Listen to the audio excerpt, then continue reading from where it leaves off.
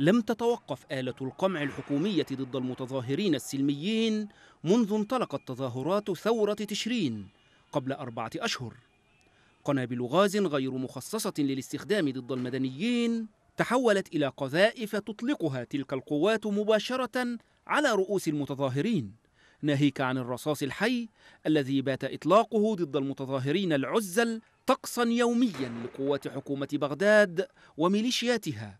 ما أسفر عن المئات من الشهداء وعشرات الآلاف من الجرحى والمعتقلين والمخفيين قسريا.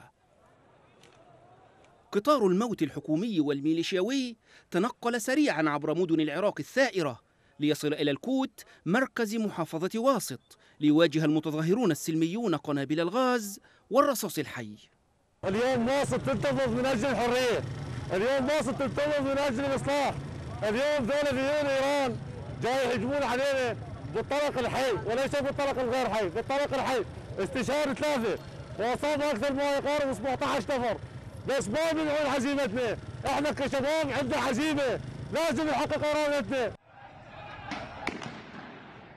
شهداء وجرحى في الكوت كما في غيرها من مدن العراق. بأيدي القوات الحكومية وملثمون يؤكد ناشطون أنهم تابعون لميليشيا السرايا تحركوا بأمر من عادل الزرقاني نائب محافظ واسط والعضو في التيار الصدري حيث حاولوا استفزاز طلبة الإعدادية المركزية في المدينة قبل أن تأتيهم تعزيزات من قوات مكافحة الشغب لقمع الطلبة الذين احتجوا على محاولات إجبارهم على مواصلة الدوام. اكو شهداء ثلاث شهداء ثلاث شهداء اليوم وجرحى تقريبا 17 جريح.